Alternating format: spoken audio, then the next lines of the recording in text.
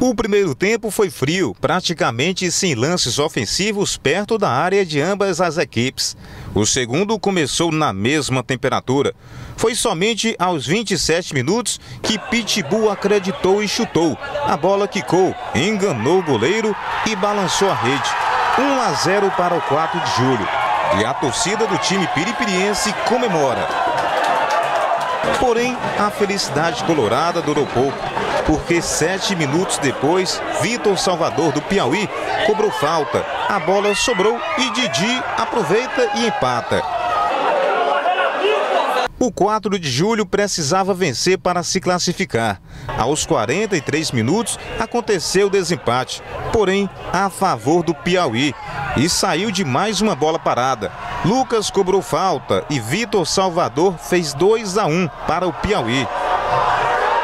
Final de jogo, um tabu é mantido e o outro quebrado. O 4 de julho continua sem vencer dentro de casa. Já o Piauí conseguiu a sua primeira vitória pelo campeonato piauiense.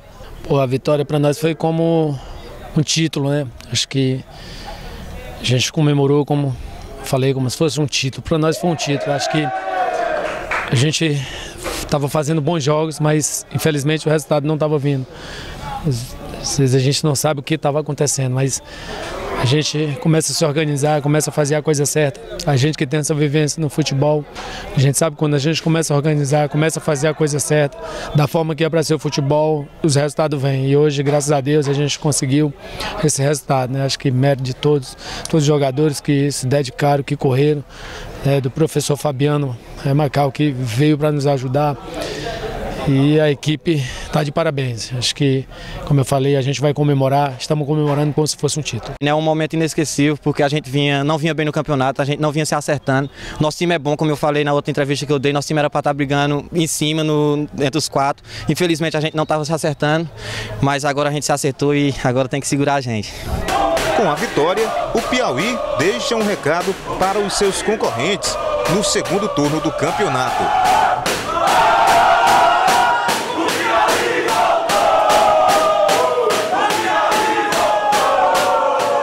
Significa essa frase que vocês estavam falando aí? O Piauí voltou.